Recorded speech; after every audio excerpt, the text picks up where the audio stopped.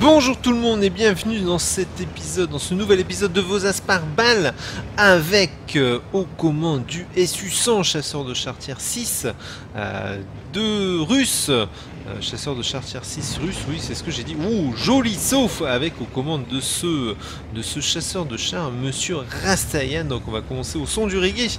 Ce, euh, cette partie. Je sais pas pourquoi c'est mauve et rouge comme ça. Je sais pas, ça doit venir d'un mode, je pense. Et il est possible aussi que ce soit un replay 9.14 lu avec la version de 9.15. Je ne sais pas exactement. En tous les cas, une partie euh, bataille impromptue sur El Alouf euh, avec un monsieur Yann, monsieur Rastayan qui prend position euh, en tant que, TD. Hein. C'est un TD, donc il, il, se met en position de TD. Il a raison euh, d'attendre la cible, de tendre le piège à la cible euh, pour de tendre le, un piège euh, au rouge, de rester à l'affût euh, du rouge qui pourrait venir euh, et notamment venir dans le cap pour essayer de caper vu qu'en bataille impromptue il n'y a qu'un drapeau. Pour ceux qui sauraient pas, qui auraient oublié tout simplement, on peut désactiver les batailles impromptues pour ceux qui le veulent. Hein, dans les options, il suffit d'aller dans les paramètres. Il y a plein de choses dans les paramètres, vous devriez y aller plus souvent. En tous les cas, Yann, euh, puis-je t'appeler Yann euh, Yann Rastayan, euh, que certains, ceux qui sont sur Twitch connaissent, euh, c'est un pseudo connu sur Twitch, un régulier, c'est un des réguliers de la chaîne Twitch, en tous les cas, on va dire, qui patiente, qui attend, qui attend sa proie en bon chasseur qu'il est. Il attend sa proie patiemment, il ne se précipite pas, et euh, une partie où il est bien tombé quand même parce qu'il n'y a que du 6, hein, on peut le remarquer. Il est top tier avec son chasseur de char et une première cible, une première cible là-bas, un petit Dicker Max. Est-ce qu'il tente le tir? Ouh, il a tenté le tir alors que son réticule n'était pas au mini et il a réussi à faire passer la dose. Et il se recule tout de suite et il ne doit pas avoir sixième sens euh, vu qu'il s'est reculé tout de suite, qu'il s'est mis à l'abri tout de suite.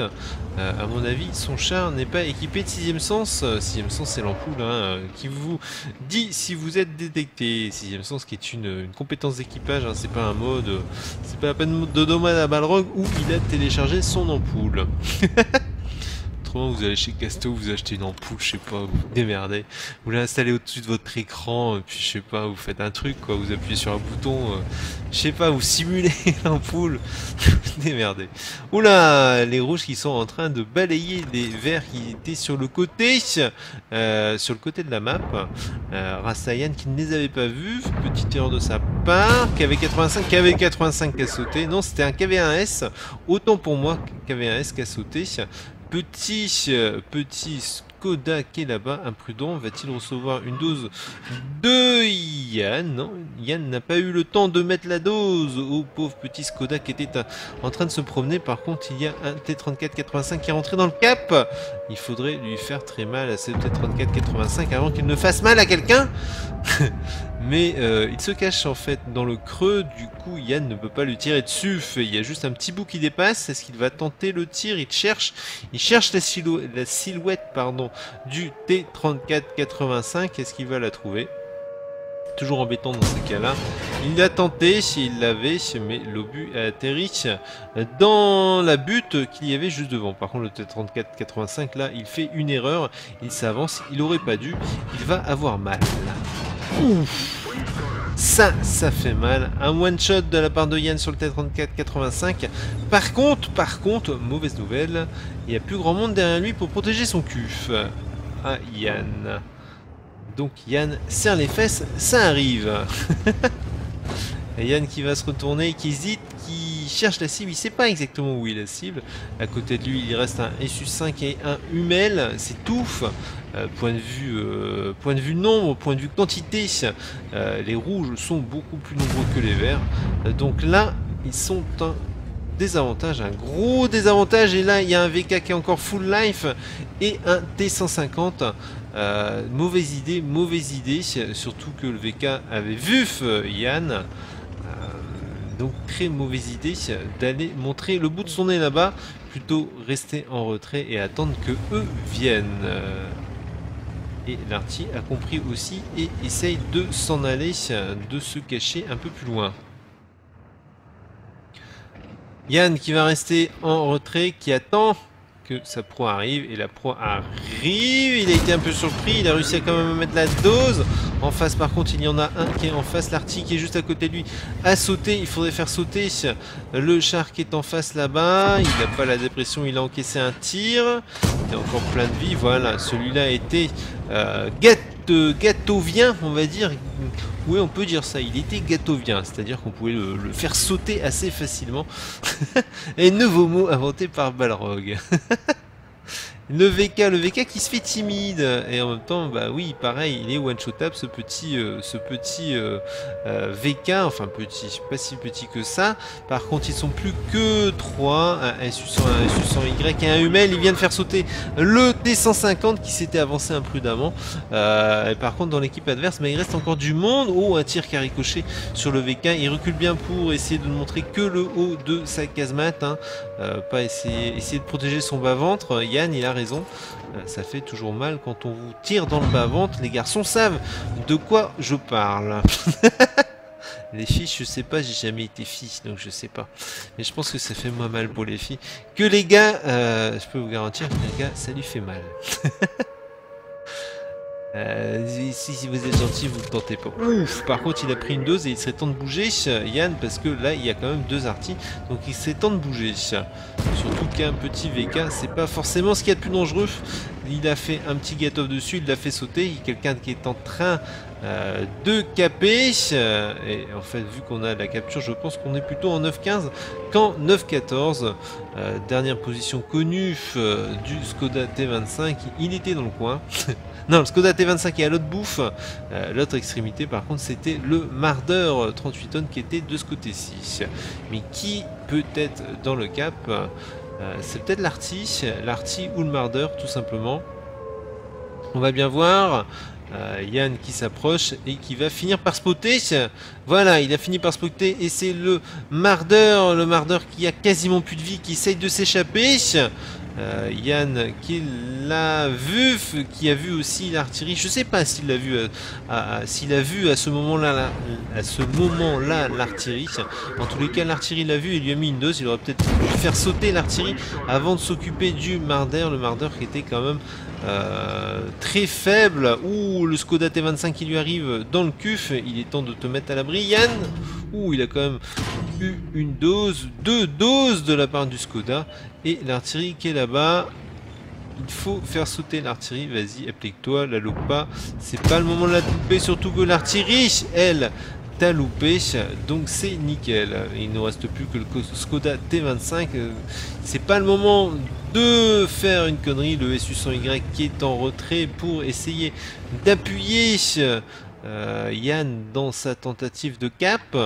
Est-ce que le Skoda T25 va venir chercher euh, Yann? Euh, on va le savoir d'ici peu, sinon il va laisser Yann remporter la victoire en capant. Euh, donc là, le, Skoda est, obligé de venir chercher euh, Yann s'il veut gagner.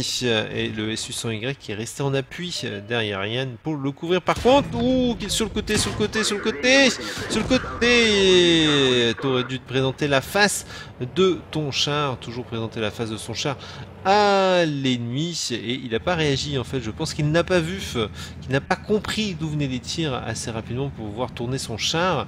Il a eu un mouvement de recul pour reculer son, son SU100, mais il n'a pas eu le, le, réflexe de tourner le char pour présenter la face euh, du char, de son char à l'ennemi. Il a quand même fait cette kill, hein, euh, notre petit Rastin et le SU100Y qui part en promenade. Donc du coup, on va pouvoir accélérer un peu la vitesse euh, de ce replay le temps que le SU100Y fasse sa petite promenade parce que ça va être un peu long. Euh, sans vous spoiler ça va être un peu long. Euh, la fin de cette partie il y a un peu d'attente un peu de camping et une délivrance ou une catastrophe à la fin de ce replay.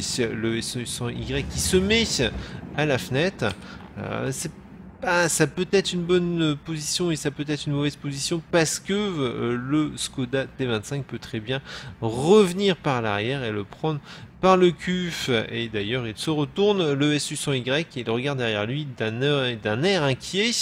Est-ce que le Skoda, j'allais dire le Marder, est-ce que le Skoda va venir le chercher ou pas? Hum, hum, C'est une bonne question, on est en x4, le temps de savoir ce qui va se passer. Le SU100Y est quand même un peu inquiet, qui attend, euh, il joue le chrono, il attend de voir si le Skoda T25 va oser venir euh, caper euh, pour pouvoir le tirer. Parce que là, si le Skoda T25, il a raison, si le Skoda T25 vient caper, il est aux premières loges pour pouvoir lui faire mal.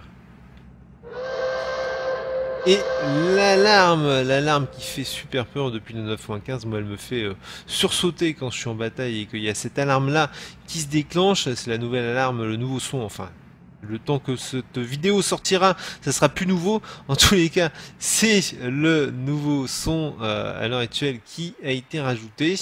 Rasta qui change de, caméra, qu'en a marre en fait de regarder son pote euh, SU100 et qui va admirer son, euh, son SU100 à lui, son pote SU100Y et qui va admirer son euh, SU100 à lui. SU100 qui était quand même assez costaud, mine de rien, face à du tiers équivalent.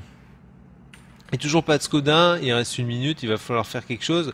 Euh, soit le Skoda vient chercher le SU100Y, soit il va caper. Et encore, je sais même pas s'il a le temps de caper. Voilà, il reste moins d'une minute, je suis en x2, c'est pour ça que ça va si vite.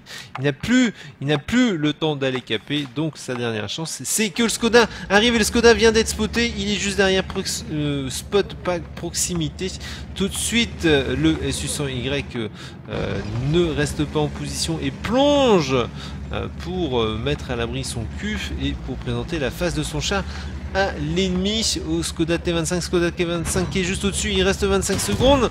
Ou Skoda T25 qui a réussi à se mettre sur le côté du SU100Y le SU100Y qui est un peu euh, mal parti. Le Skoda T25 qui est en train de le cercle et qui a réussi à lui mettre une dose dans le flanc.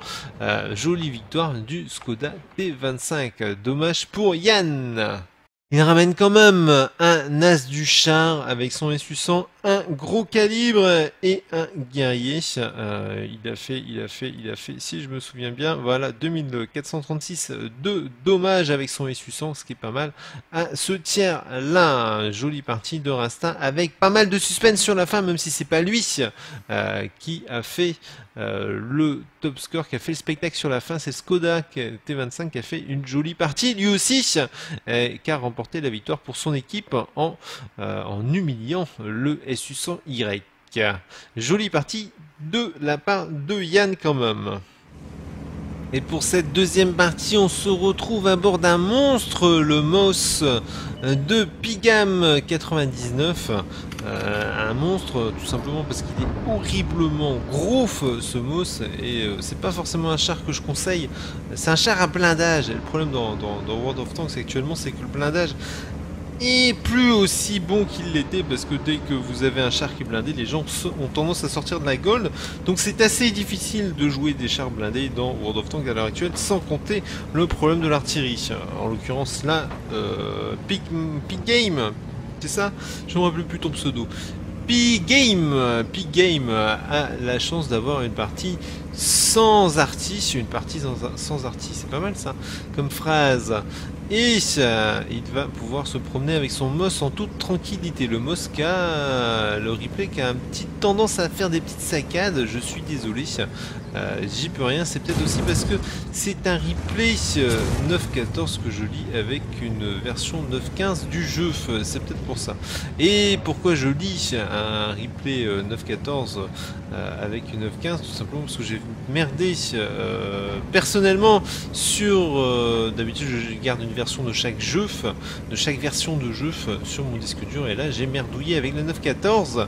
Et comme on me montre pas souvent, on me donne, on m'envoie souvent des replays de Moss, et eh ben je me suis dit tant pis pour le petit, les petites saccades du, char, on va faire avec, c'est tellement rare que je puisse avoir un replay de Moss sur la chaîne, je vais pouvoir leur montrer ça, je sais qu'il y en avait qui me l'avaient demandé souvent, Et euh, bah là, oh, un IS-7 qui présente ton flanc. Tout de suite, euh, tout de suite, P-Game euh, présente, enfin donne de l'angle à son char. Hein. Le mot se joue avec un angle. Il faut toujours essayer de donner un angle à ce char pour utiliser le blindage au mieux. pas mal de monde sur la place de l'église. Euh, il faut faire attention à pas en montrer trop, à en montrer suffisamment mais pas trop. Ouh, il s'est pris une dose sur la droite. Il n'avait pas regardé à droite avant de traverser. C'est pas bien Monsieur P-Game.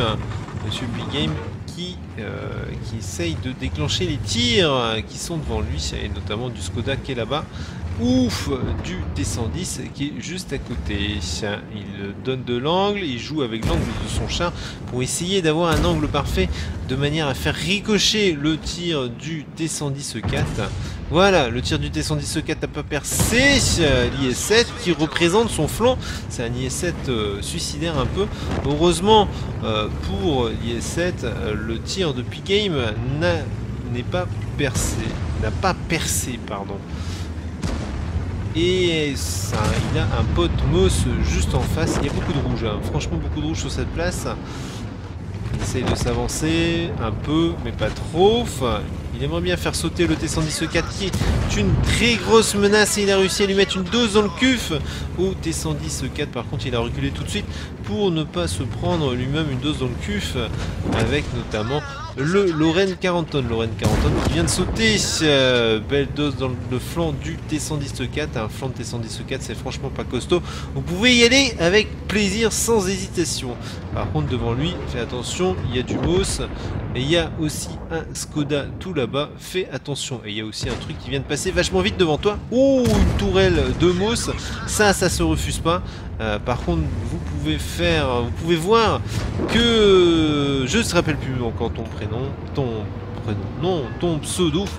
Big Game, Big Game donne de l'angle dès qu'il peut entre deux tirs à sa tourelle pour présenter le flanc de la tourelle avec un léger angle afin de faire ricocher les tirs. Il ne laisse jamais sa tourelle, l'avant de sa tourelle face à l'ennemi euh, lorsqu'il ne compte pas tirer. Voilà, vous voyez bien là qu'il a donné un angle à sa tourelle pour essayer de faire ricocher les tirs. La tourelle ne doit être jamais droite entre deux tirs. Vous ne mettez votre tourelle droite que quand vous tirez. L'autre moss, le moss rouge qui s'est mis en... qui a donné de l'angle aussi à son char. Ça va être un duel de side skipping. On peut voir que la tourelle de P-Game il a de l'angle, il a donné de l'angle pour euh, justement faire ricocher d'éventuels tirs sur sa tourelle. deux tirs, un tir qui a ricoché et un tir qui a atteint sa chenille. J'ai pas regardé si le tir, le deuxième tir avait fait du dégât. En tous les cas, il a fait sauter la chenille. Ouf, là il s'est pris encore une dose. Une dose dans le cul, mais ça ricoche. Il a donné de l'angle de partout. Ça ricoche. Et à noter, il ne semble pas qu'il ait utilisé encore de gold, il à la paix standard. La paix standard, le mot c'est aussi le premier canon. Ouh, il y a quelqu'un derrière toi. Quelqu'un derrière toi qui t'ignore, donc ce serait peut-être le moment d'en profiter et lui mettre quelques doses dans le cul, vu que le monsieur il veut pas t'ignore totalement. Bon bah là ça n'a pas percé, mais euh, tu peux y arriver. Vas-y, vas-y, retente ta chance. je sais pas qu'est-ce qu'il fait ce, 113, mais il fait un peu n'importe quoi se promener comme ça au milieu. Voilà une très belle dose, il a réussi à mettre une très belle dose. Par contre, il se prend une dose de la part de l'autre Moss. Et qu'est-ce que j'allais dire? Je sais plus ce que j'allais dire. En tous les cas, le Moss qui utilise le premier canon du E100, un canon qui a plus de pénétration que le deuxième, mais qui fait beaucoup moins de dégâts. Hein. Euh, le canon du Moss, c'est vachement moins de dégâts. Ah, si je retrouve mon curseur, j'ai perdu mon curseur de souris. C'est malin voilà, j'ai retrouvé. Bougez pas. c'est du 490 de dégâts et 246 de pénétration. Euh, le petit léopard qui a sauté. Et encore un autre qui se présente sur, euh, sur la place de l'église. Et en fait, c'est hallucinant parce qu'ils ignorent totalement euh, Big Game et son, son mouse. C'est assez hallucinant. Ça y est, il vient le chercher en fait. Il s'est dit que le mot s'il gardait pour la fin parce que c'était plus difficile à percer. Il a peut-être eu raison. Vu qu'il vient de faire écocher son premier tir, son deuxième tir. Par contre, le mot s'avance. Euh, le mot s'avance pour mettre une dose. Games qui ne s'avance pas à lui. Voilà, il s'avance, il donne de l'angle à son char. Tente d'avoir le petit espace entre les deux chenilles à l'avant. Vous l'avez vu chercher le, entre les deux chenilles, là vous avez un petit creux euh, sur, euh, sur l'avant. C'est un point faible. Et là il va essayer d'avoir le frontal de la tourelle. Voilà, frontal de la tourelle et une fois qu'il a tiré, dès qu'il a tiré, il présente, il donne de l'angle à sa tourelle pour faire ricocher le tir du MOS adverse. Et dès qu'il va avoir rechargé, il va remettre sa tourelle face à l'ennemi pour tirer dans le frontal de la tourelle. Voilà, et tout de suite après, il redonne de l'angle, voilà, pour faire ricocher le tir. Nickel, parfait, une démonstration. Euh, P-Game nous fait une démonstration de comment il faut utiliser le MOS. Franchement, jolie partie, très jolie partie. C'est comme ça, euh, et le sang aussi, c'est comme ça qu'il faut idéalement l'utiliser. Et il vient de faire sauter le Skoda T50 également. C'est idéalement c'est les, gros chars comme ça avec un frontal de tourelle assez droit. Euh, donc un frontal de tourelle, c'est la partie avant de la tourelle assez droit. Il faut les utiliser comme ça. Et beaucoup de chars, c'est comme ça qu'il faut les utiliser. Il faut tourner euh, la tourelle et donner de l'angle à la tourelle entre deux tirs pour justement que la partie avant de votre tourelle ne soit pas face au canon ennemi, euh, mais essayer de donner un maximum d'angle pour pouvoir faire écocher les obus. Il est prudent quand même, il est prudent, il lui reste plus énormément de vie et il vient de prêter son flanc et ça vient de ricocher. Il a de la chance sur ce coup-là. Par contre, il ne peut pas tirer. Il ne peut pas tirer sur le T54E1. Heureusement, le T54E1 a foiré tous ses tirs. Euh, je sais pas combien de pénétration a un T54E1. Euh, il n'en a peut-être pas énormément. En tous les cas, euh, P-Games a eu de la chance sur ce coup-là, vu qu'il présentait son flanc au T54E1. Par contre, les rouges sont en infériorité, en infériorité numérique. pardon. donc, normalement, ça devrait le faire. Ça devrait le faire assez facilement même si le T54E1 roule beaucoup plus vite que le MOS et du coup euh, risque de distancer assez facilement. Surtout qu'il est tout seul, P-Games, il est tout seul euh, dans la ville, donc il faudrait pas qu'il se fasse, euh, qu'il se retrouve avec le, le T54E1 dans le CUF, ça pourrait lui faire très mal.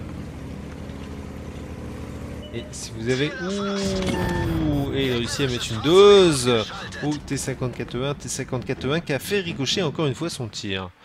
Très belle partie de Pig Games qui nous rapporte bien sûr un as du chien avec son mousse et un mur d'acier.